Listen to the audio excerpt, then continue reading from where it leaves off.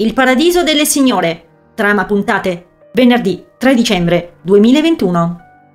Adelaide ha sempre più dubbi su Flora e non si fida di lei. Nel frattempo Umberto cerca di fare il possibile per calmare tutta l'attrazione che prova nei confronti della ragazza e cerca di nasconderla.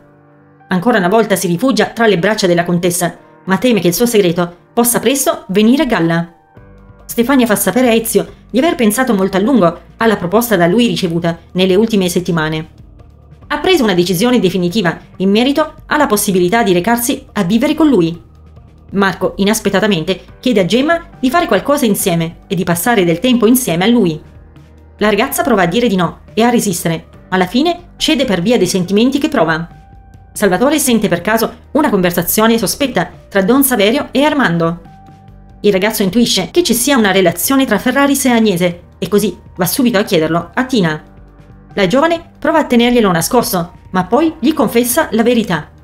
Salvatore non contiene la rabbia che prova verso la madre e va subito via di casa.